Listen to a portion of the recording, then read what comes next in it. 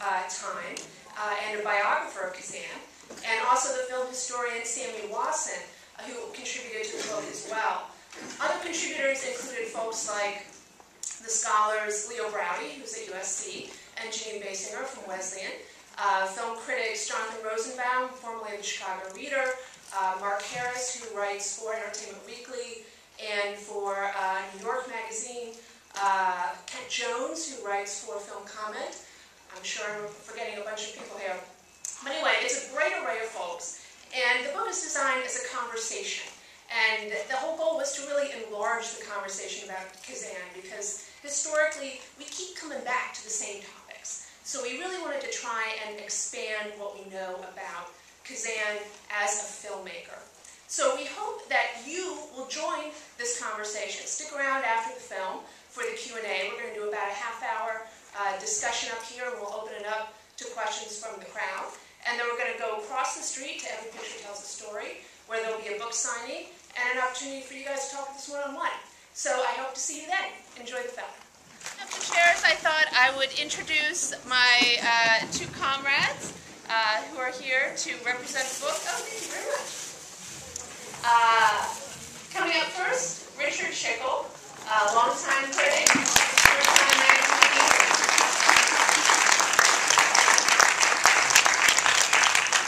Richard wrote the definitive biography of Kazan, and his last two books, I believe, have been on Clint Eastwood.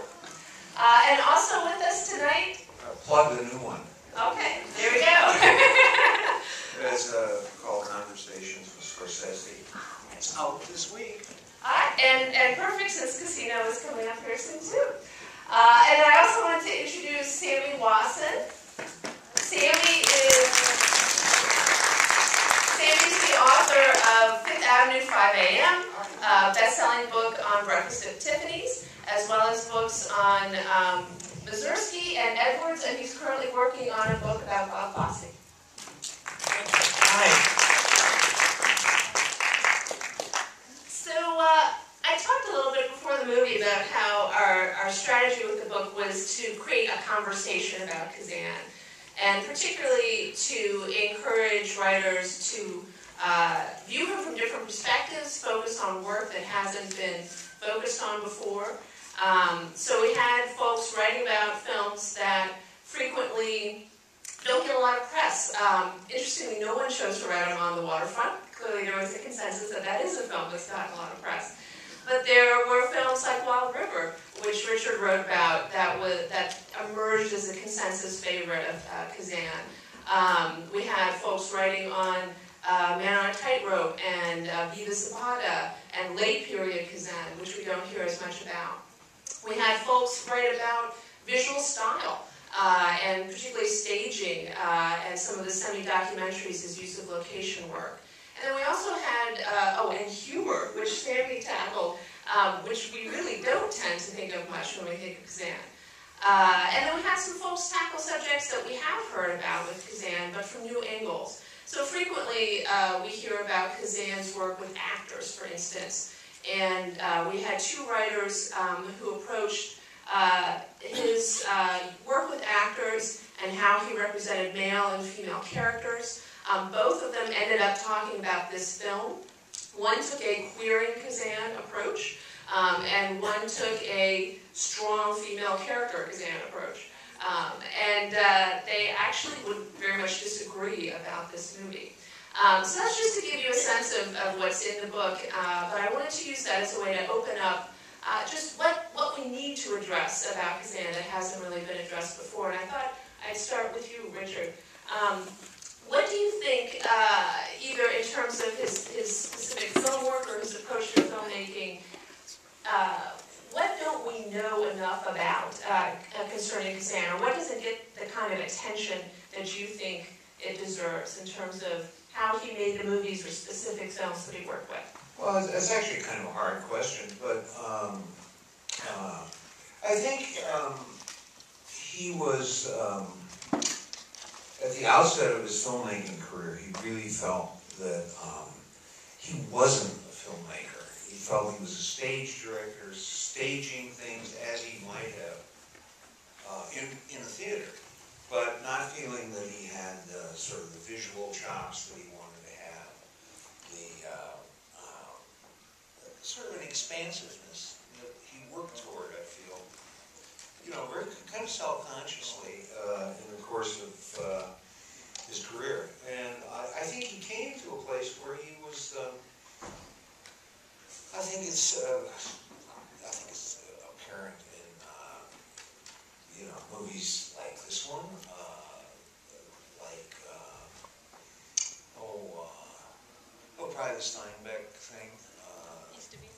Yeah, East of Eden, which is, opens up quite a bit. Um,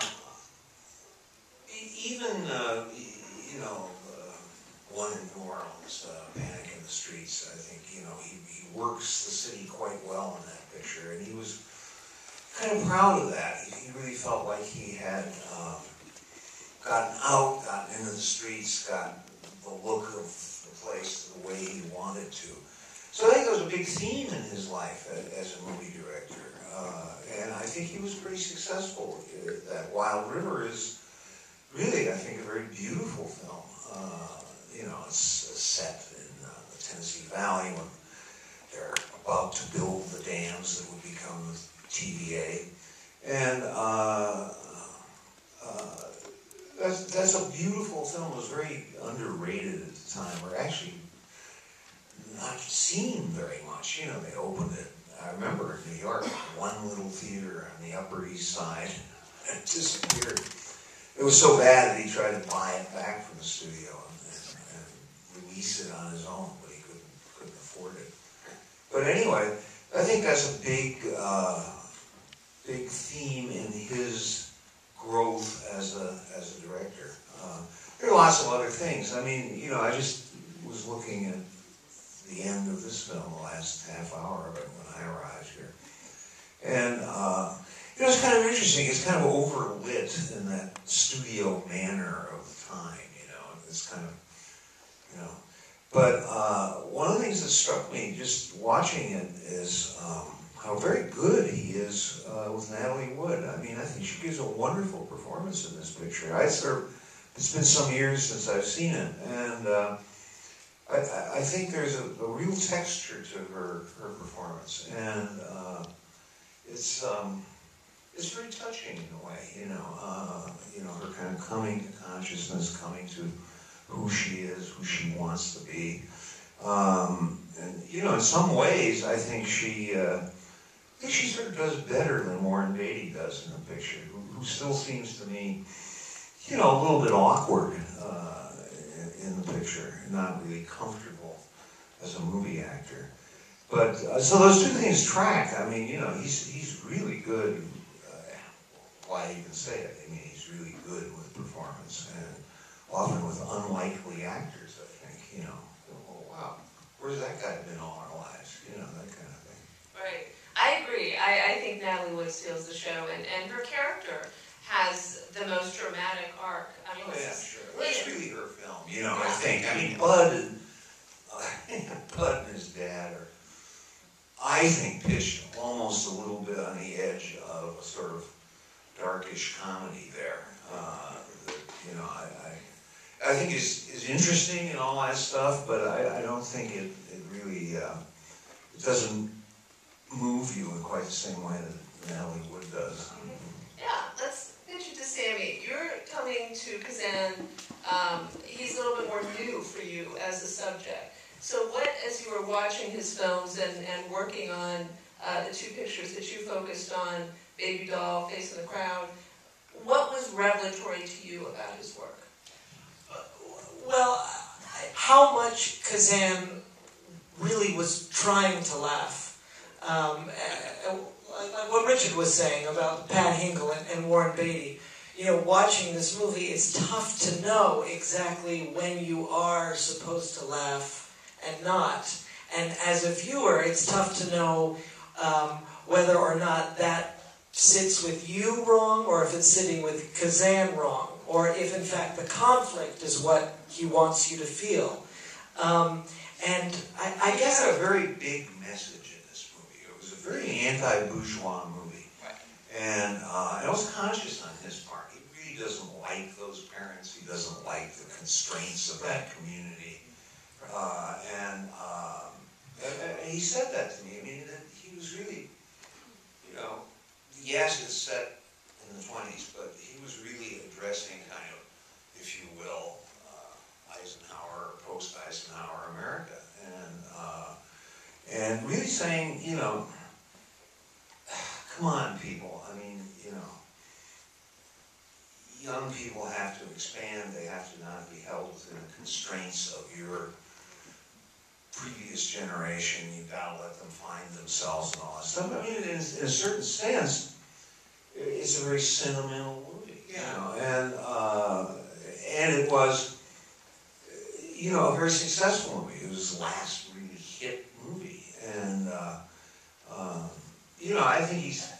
It's not my favorite movie and all that, but when you're exposed to those people, they kind of reach out and, and touch you. Uh, even Warren, I mean, that poor inarticulate boy who doesn't want to be at Yale, you know. uh, there is a comic element in that, you know. I mean, it's uh, we've all seen that. I mean, you know, kids who don't want to do what their parents want them to do. I mean, it's just one of the great American themes, really. ultimately I found that the, the contempt that he feels for these people is so strong that Kazans, you mean. Kazans, yeah, yeah, that it actually makes it hard to laugh because he's so uh, against them um, for for good reasons. And I found that continue on through Baby Doll and, and, and The Face of the Well, those are both, to me, of the late Kazan pictures. Those two really, uh, to me, are much are superior to this film. I mean, I mean, and Baby Doll is funny. I mean, it's you know. It wants to be. I mean, it, wants to be funny, and he is funny with it, and he was proud of that, that, it was, that he was funny with it. And of course, he, he, the, the other film is, is, is really a powerful message, you know. I mean, he was onto media manipulation and all of uh, that stuff that was just sort of nascent at that point, at that point in, uh, you know, the power of celebrity.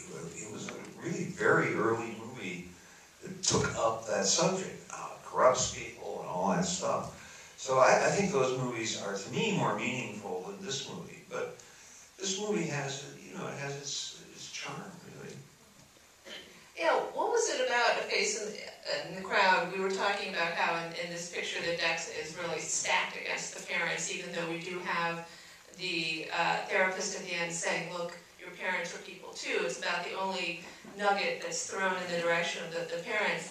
Um, but you brought up in your piece, uh, and I know this is true for the film that you wrote about Wild River as well, there's a little more ambiguity Yeah, with the yeah. in a face That, that's what makes it work better for me because power in these movies is so often the problem.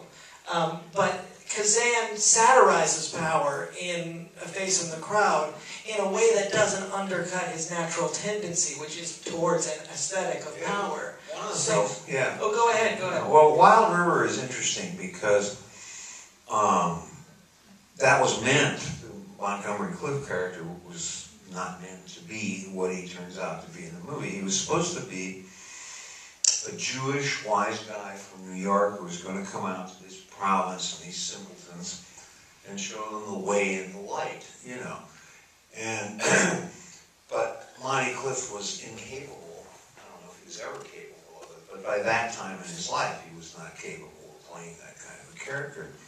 So the balance of power shifts in the movie, and he becomes kind of weak, and you know, and of the Van Fleet character, matriarch, uh, you know, almost takes over the movie. So that he's kind of has to counterpunch with her. Yeah, it's kind of effective because I think he gives Kazan, who's a real New Dealer guy, you know, uh, he gives a stronger shake to the provincials in that movie than I think he maybe originally intended to. But he was the kind of director, whose stuff kind of started bubbling in a direction he wasn't counting on. He would go with it. I mean, he, he, he liked that. That was, I think, you know, one of his strong suits as a director was that ability to let stuff happen, to not say, no, no, no, that's not what I intended. You, can, you know, pound them into a little line. I, I mean, he was good at doing that. And, uh, you know, and he always said that Jo Van Fleet and Lee Remick, you know, made the picture happen. He said he really thought that, you know, Monty Clift would, would just blow that movie away. You know, I mean, not in a good way. That his weakness and his softness and his gentle way was going to, you know, just sort of destroy the movie. But in fact, he said those two women kept him in it. Yeah. You know, on the set, you know, all that sort of thing. Yeah, it's another excellent example of uh, the female performers and the female characters who we really don't tend to hear as much about with Kazan. Uh, all too often, I think they get short shrift. That This is a- another example, like tonight's film, where the women really shine in Wild River. This is a picture about a TVA administrator who goes down into a community and tries to convince some local people to move off their land uh, that's about to be flooded from the dam. Their dam. island. Their island, They've yes. lived on since the eighteenth century. Right, multiple generations. Um, and uh, originally, uh, Kazan thought of having Marlon Brando in the Clift role, which, as you say, would have completely Well, changed. You know, but, uh, you know, he said, you know, look, I wanted Brando For and everything. everything. you know, and that was, that was the relationship that he, he treasured, you know. Um, I feel like, you know, if you go back to his very first movie, uh, Tree Grows in Brooklyn, um, that woman in there, uh, played by, what's her name? The mom. And the daughter. The mom. Okay. Dorothy McGuire. Yeah. Uh, she's a very good character, and she's a very strong character. I mean, the, the picture is hers, really. And, uh, and, and she regrets having to be that hard, you know? She doesn't want to be that person. She wants to be, but she has to hold the whole works together, the kids and the drunken father and all that stuff. I think, you know, by and large, you know, obviously On the Waterfront is a very male I think almost all the other movies, everybody gets a, a pretty fair shake if they're, if they're female. Don't you, kind of? Yeah, yeah, no, I do, I do. Yeah, even the mom, you know, in, in this, you know, you kind of, you do feel sorry for her at that moment when she comes up to. Deanie's mom? Deanie's mom, yeah, yeah, yeah. Yeah, the Um, scene at the end there where she's really almost, she's pleading for her life. or Yeah. Pleading for an idea of herself that she hasn't really communicated to anyone. It's hard to understand, but you do always pity, and that makes it a little more common. That that shades it in a way. I Um, think that's the absolute essence of, of Kazan as a director. I mean, he very rarely, you know, unless it's Jack Palance or somebody, he rarely, he gives everybody a square shake. They all finally get their moment. They get their moment to explain themselves and show how they fit into the, you know, the entire context of the movie. I mean, I think that's one of his really good qualities. I've always wondered about. Um, I, I don't even know if this is appropriate to bring up, but I've always wondered about um, later Kazan. Towards the end, you know, we don't see those movies much. We don't talk about those movies so much. Well, you know, like um, The Visitors, this movie. and yeah, yeah, and um, Last Tycoon. Um, are there are there pleasures to be had in those movies that we don't necessarily remember or talk about? Is there a way? I, I don't think Last Tycoon, that was just one of those bollock stuff productions, you know. I mean, It was the wrong screenwriter, Harold Pinter, for Christ's Right, sake. yeah. I mean, he's a, that was a fabulous writer, but that's not his material. Um, uh, what was the other one you mentioned? The vis- the, is it called Visitors or The Visitor, yeah, I don't know, that's just, it's almost like a vanity production, you know, I mean, pretty much self-financed, and, you know, with some script and The arra- and the right and the arrangements. That's the Kirk Douglas. The arrangement, um, well, Larry really did want Brando, and he really had Brando, and then Brando backed out at the last minute. He got Kirk Douglas, uh, which was, didn't work out. I mean, he did his best with him. I mean, he was flattering to him, he was encouraging to him. But there is something inherently villainous about Kirk Douglas, so it's very, it's very. You saw the Oscars. I mean, really, you know, it's okay, he can retire now. But, uh, I do feel that that picture, you know, might have worked, you know, with a different actor in it, and, and you always have to, it's hard for directors to admit it, but they do go past their prime and they hang on. I mean, you very, very rarely do you find the late work of great directors, and they are great directors, that holds a candle to their early stuff. That is a lot of it is energy, is, standing on your feet.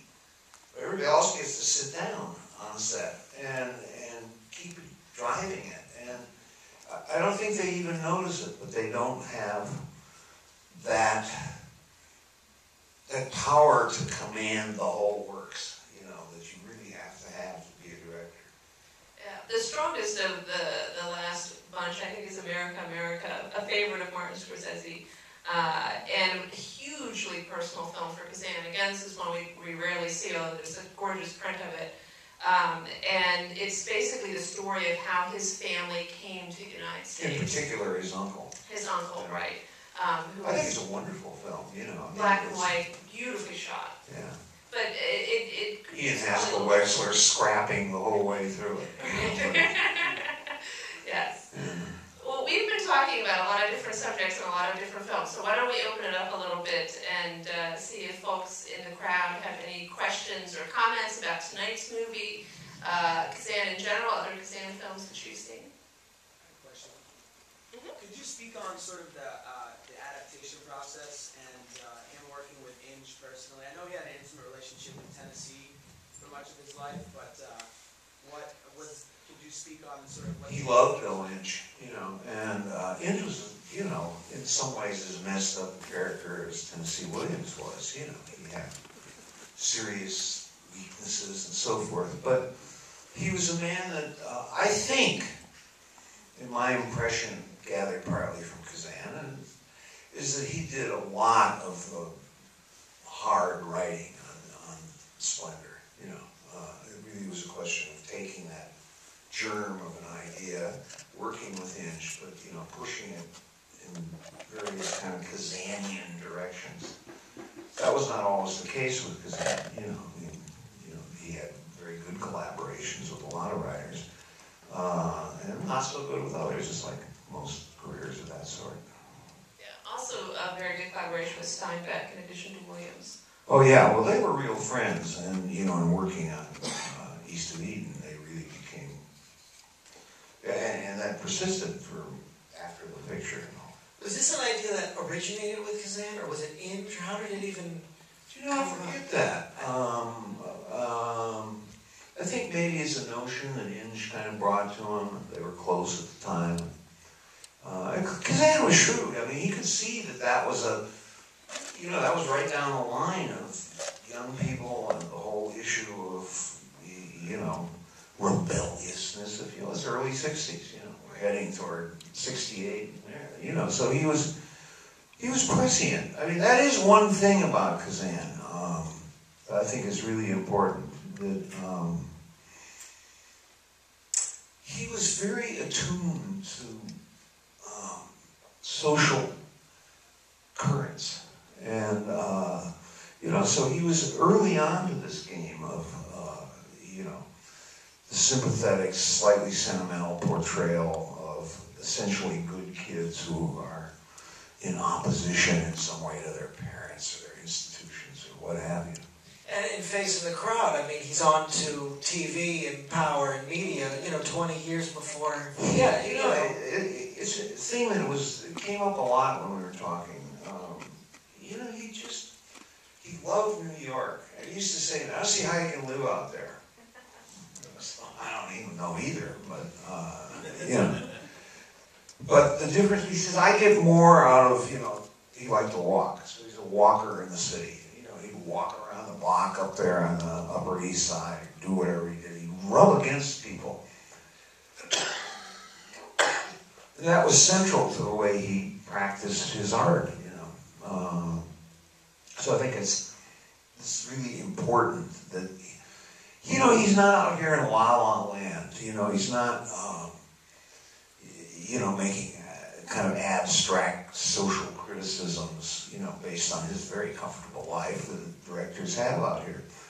And I think he was right. I, I think that one of the things that American movies miss is that the rub of life. You know, they're made. They're good, a lot of them. I'm not saying they're not, but that that sort of, you know, being um, in the arena uh, is also central to the way he worked on things. Yeah, very sharp observer of human nature. Other questions? Yes, in the blue. Uh, I was born and grew up in, in Israel, and I remember when the movie was released, I was like thirteen. Uh, we all sneaked into the movie, although it was limited, eighteen. Ah. We sneaked in the movie, I saw the movie when it was released like five times. And it, it impressed a lot my generation, and it's one of the movies that impressed me the most, together with Gone with the Wind and Exodus and those movies. Uh-huh. So it, I, I can even remember the movie theater it was playing. I remember every Thank you. single movie theater I saw any movie in. That's true. I mean, because it's part of the totality of the experience. You know, it's a particular environment that you see a movie in, and so you know, it gets click click in, in your head. It's a perfect example of what we've been talking about, is this prescience, this feeling that, you know, now is the time to be talking about this generational divide. Uh, let's take maybe one more question. No. You know, this film touches on a father-son relationship, like uh, uh, East of Eden, and then even the arrangement between the Yep. Kirk Douglas and Richard Wood. It's always the son who tries to please the father, and so on. Oh well, you know, Kaz- Kazan was, you know, his relationship with his father was the most fraught relationship of his life. I mean, he's working that out in almost every movie he's made. But here is uh, Pat Hingle of all the fathers is the one who is more over the top, and the relationship seems more sick in this film than in the other More film. sick? Sick. It feels almost incestuous. I, I remember I read one uh, interview from Kazan in Kazan on directing that he mentioned that the Pat Hingle had homosexual overtones in his over ferocious uh, heterosexuality. So I don't know. Maybe we could talk about that. How do you feel about it? I don't know. no, but all, what I do know, his father was this ferocious guy. And, uh, I mean, just for example, he just wanted him to go in the family carpet business. And his parent, his mother, I think maybe an aunt, you know, sneaked him the money and got him into Williams College. I mean, you know, and then the father had, you know, I think had virtually a heart attack when he found out about it. It was a terrible relationship, and it marks so many of Kazan's. I mean, there are far fewer mother-son or mother-daughter relations explored in his movies than there are father relationships, I think. Yeah. Yeah, and, and one thing about, uh, I don't know about incestuous, but both of these, the mother of Deanie, the father of Bud, they view their children as extensions of themselves, really.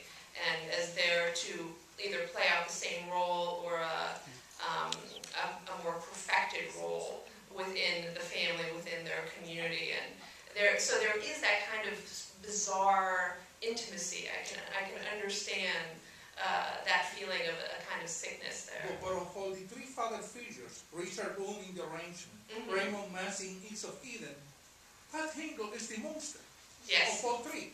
It's the one that, in fact, there's one scene where he's confronting the director of the college that Kazan doesn't Yeah. give him a close-up. He shoots Right, all over his the shoulder. over the shoulder because imagine sing, him, Hingle was all over the place. Mhm. So, uh, one, and funny enough, of all the three films, this is more contemporary to Kazan's age and his confrontation with his father concerning his education. Yeah, his father wasn't at all like, I think, much nastier mm-hmm. than um, and insinuating than uh, Pat Hingle is in this movie. Pat Hingle is you know, he's like he's like a character drifted in from a Sinclair Lewis novel. really, you know, he's one of those kind of types. He seems insane. I mean, it's beyond. You know, even his, his he seems hysterical. You know, it's partly performance. It's partly Pat Hingle, I, I guess. Well,